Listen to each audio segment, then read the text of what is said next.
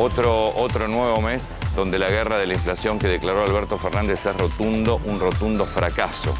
Yo veo la inflación. No podemos. La verdad que Argentina lo que tiene es un desorden en lo que hace su Estado.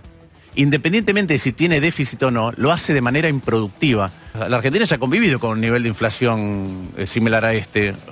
Tenemos que remontar. Este, este, este nivel acumulado anual tenemos que irnos a época de hiperinflación tenemos que irnos a época de hiperinflación. El, el nivel acumulado 12 meses, que es superior a este, es el de diciembre del año 2000, eh, 1991. Quiere decir que incorpora algunos meses de hiper. María Eugenia Vidal, 7% otra vez, otro mes sin un plan, otro mes que duele más.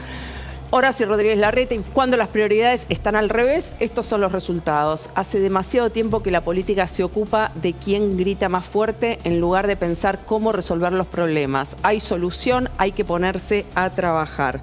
Eh, Diego Santilli, sí, nos dimos cuenta, 7% de inflación en agosto, 78% interanual. Y esto es todo lo que tienen para decir. Con los problemas inflacionarios que tenemos, con las tasas de interés que tenemos, con lo con la fragilidad que tiene nuestro sistema económico, ¿qué oportunidad mejor tenemos de demostrar lo que el oficialismo puede y ofrece, pero también diciéndolo con, humildad? Lo que la oposición está dispuesta a hacer.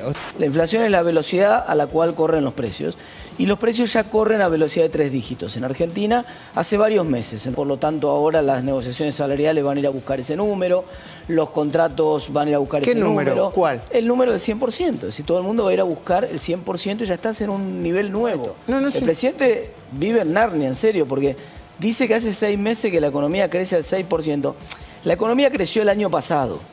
Creció bastante el año pasado, creció mucho.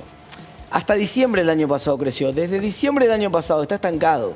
Desde diciembre del año pasado está estancado. Sin un plan, sin un rumbo, sin saber a dónde vamos.